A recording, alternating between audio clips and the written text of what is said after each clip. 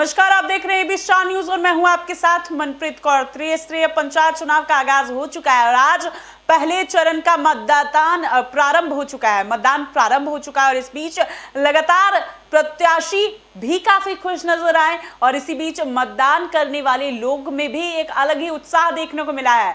लोग सुबह से ही लंबी लंबी कतारों में मतदान करने के लिए, अपने मतदान का उपयोग करने के लिए निकलकर सामने आ रहे हैं। कहीं से प्रत्याशियों ने वोटरों को लुभाने के लिए मिठाइयाँ बांटी तो कहीं साड़ियाँ, कहीं शराब बांटे गए, वहीं कहीं पैसे। लगातार अलग अलग जगहों से अलग अलग मामले भी सामने आ रहे हैं। आज पहले चरण का मतदान प्रारंभ हो चुका है। 18 जिलों में आज मतदान होना है। आप विजुअल्स के माध्यम से भी हम आपको दिखा रहे हैं कि किस तरह वृद्ध भी सामने निकलकर मतदान करने आ रहे हैं।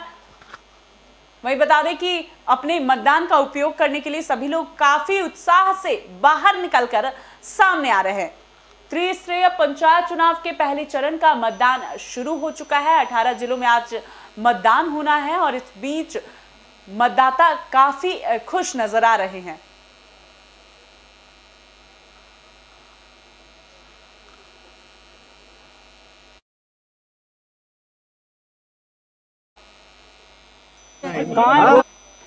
वही कहीं प्रत्याशियों ने वोटरों को लुभाने के लिए शराब का वितरण किया तो कहीं साड़ियों का।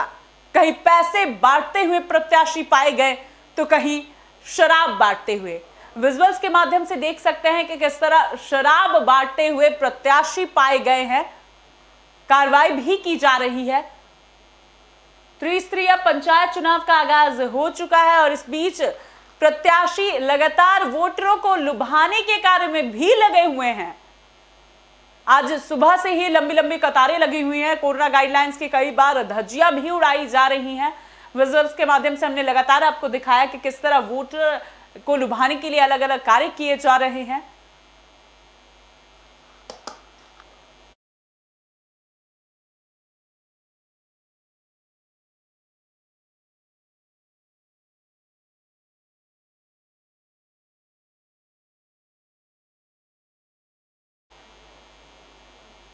वही रुक करते हैं बुलेटिन की ओर। आज त्रिस्तरीय पंचायत चुनाव का आगाज़ हो चुका है। पहले चरण का मतदान होना है और इस बीच आगरा से खबर सामने आई है। ग्रामीणों ने मतदान करने का बहिष्कार किया है। दूसरे प्रत्याशियों पर दबंगई के आरोप भी लगाए गए हैं। यूपी के 18 जिलों में पंचायत चुनाव के पहले चरण की वोटिंग हो रही है। आगरा में पंचायत चुनाव को लेकर ग्रामीणों में काफ़ी आक्रोश देखने को मिल रहा है। जानकारी के मुताबिक ग्रामीणों का बूथ को लेकर दूसरे प्रत्याशी पर दबंगई के आरोप लगाए जा रहे हैं और हंगामा भी काटा गया है। गौरतलब है कि जैसे ही पुलिस प्रशासन को इस बात की जानकारी मिली, फ़ौरन मौके पर पहुंचकर ग्रामीणों को समझाने का कार्य किया गया और कार्रवाई में प्रशासन जुट गया।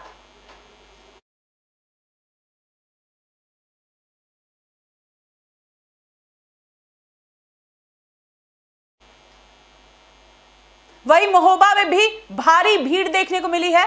प्रत्याशियों के लिए लगातार वोटर बाहर निकलकर वोट करने के लिए निकले हैं और वही भारी भीड़ देखने को मिली है। लगातार कोरोना गाइडलाइंस की धज्जियाँ भी उड़ाई जा रही हैं। वोटिंग को लेकर उत्साह भी देखा गया है।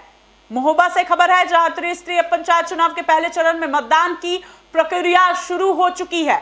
महोबा ज़िले में भी चार सौ पैंतीस मतदान केंद्रों के 925 बूथों पर वोट किए जा रहे हैं। वही सुबह सात बजे से मतदान शुरू हो गए। वही कोरोना गाइडलाइंस का पालन करते हुए मतदान किया जा रहे हैं। बता दें कि अपने मताधिकार का प्रयोग किया जा रहा है। मतदाताओं में अपने मताधिकार को लेकर खासा उत्साह भी देखने को मिला।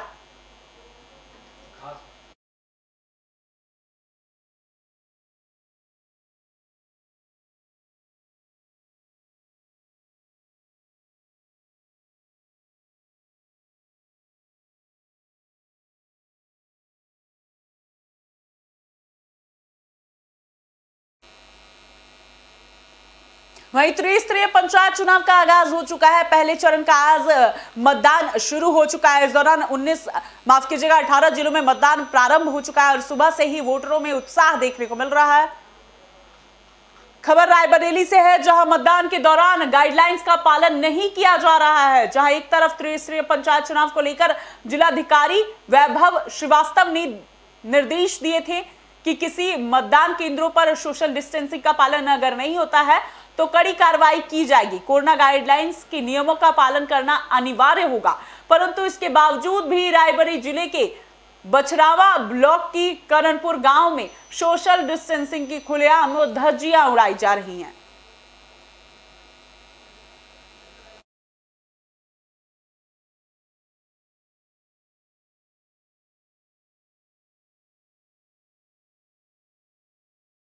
को लेकर के लगातार जो अटकलें लगाई जा रही थी, उन अटकलों पर सुप्रीम कोर्ट ने विराम लगाया, जिसके बाद रायबरेली में प्रथम चरण का मतदान हो रहा है। आज लगातार यहाँ पर देखा जा सकता है कि किस तरह से जो वोटर है अपने घरों के बाहर निकले और यहाँ पर आकर के अपने मत का प्रयोग कर रहे हैं।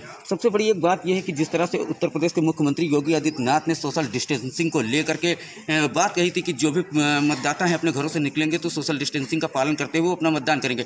लेकिन यहाँ पर साफ़ तौर पर देखा जा सकता है कि जो ये मतदाता आए हुए हैं, यहाँ पर सोशल डिस्टेंसिंग का पालन नहीं कर रहे हैं। वहीं रायबरेली के जिलाधिकारी वैभव श्रीवास्तव ने हालाँकि पूरे विभाग को इस बात को लेकर के आदेशित भी किया था कि जो भी मतदाता आएँगे, वो सोशल डिस्टेंसिंग का पालन करते हुए लाइन में लगेंगे, जिसके बाद वो बाकायदा मास्क लगाएँगे। आएँगे वही वोटिंग करेंगे। लेकिन यहाँ पर जिस तरह से सोशल सोशल डिस्टेंसिंग की धज्जियाँ उड़ाई गई, कहीं ना कहीं एक अपने आप में बड़ा सवाल ज़रूर खड़ा हो रहा है। लेकिन जिस तरह से त्रिपंचायत स्तरीय चुनाव को लेकर के आज प्रत्याशियों के भाग का फैसला होना है और उसके बाद यहाँ की जनता इस चीज़ का फैसला करेगी कि आने वाला इनकी ग्राम सभा का प्रधान कौन होगा। Siraj Ahmad AB Star News Raebareli वहीं हाथरस में भी वोटरों में भारी उत्साह देखने को मिला है। वोट करने के लिए लंबी लंबी कतारें नज़र आई हैं। विजुअल्स के माध्यम से आप देख सकते हैं कि कितनी लंबी कतारों में लगातार महिलाएँ व पुरुष मतदान करने के लिए नज़र आ रहे हैं। पंचायत चुनाव की सरगर्मियों के बीच यूपी के हाथरस सहित 18 जिलों में प्रथम चरण का मतदान शुरू हो चुका है। वहीं मतदान के लिए मतदाताओं की लगी लंबी कतार भी देखने को मिल रही है। तो पंचायत चुनाव के लिए बड़े मतदान केंद्रों पर सुरक्षा व्यवस्था कड़ा इंतज़ाम किया गया है। सुरक्षा व्यवस्था के कड़ी इंतज़ाम भी किए गए हैं। वहीं पहली बार वोट डालने वाले मतदाताओं के अंदर काफ़ी उत्साह देखने को मिला।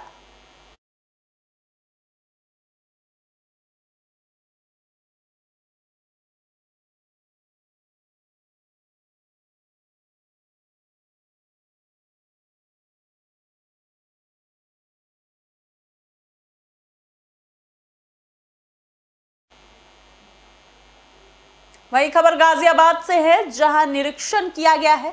नौ बूथों का निरीक्षण किया गया।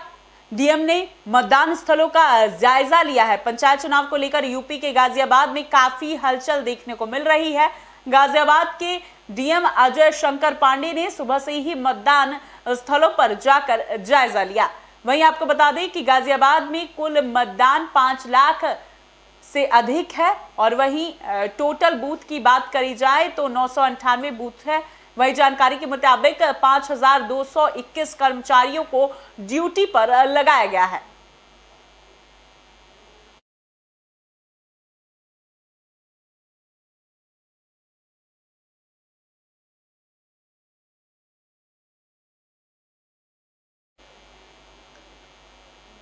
रुक करते अगली खबर की ओर। खबर फिरोजाबाद से है, जहाँ बेकाबू होकर अचानक अनियंत्रित हालत में एक ट्रैक्टर ट्रॉली पलट गई है। दो दर्जन से ज़्यादा लोग गंभीर रूप से घायल बताया जा रहा है। घटना थाना मटसीना क्षेत्र के पावर हाउस के समीप की है, जहाँ एक बड़ा हादसा हो गया। हुआ यूँ कि एक ट्रैक्टर ट्रॉली असंतुलित होकर पलट गई। जानकारी के मुताबिक इसमें करीब 40 लोग घायल हुए हैं, जबकि करीब दो दर्जन से ज़्यादा लोग गंभीर रूप से घायल बताए जा रहे हैं। गौरतलब है कि सभी घायलों को फिरोजाबाद के सरकारी ट्रॉमा में भी भर्ती कराया गया है।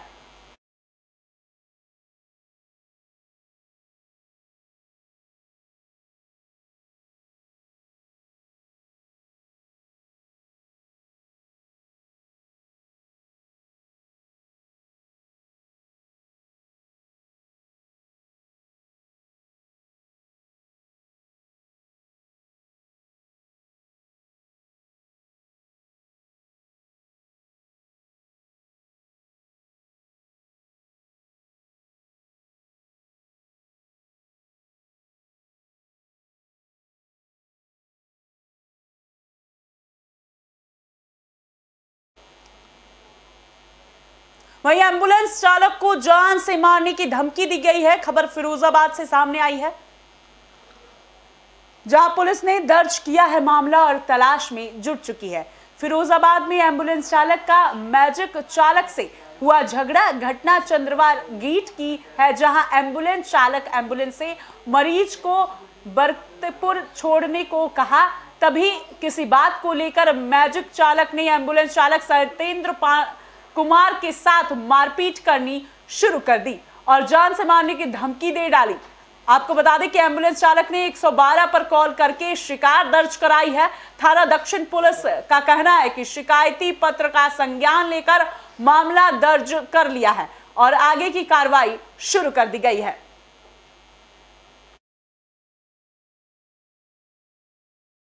से सामने आई है जहाँ एंबुलेंस चालक को जान से मारने की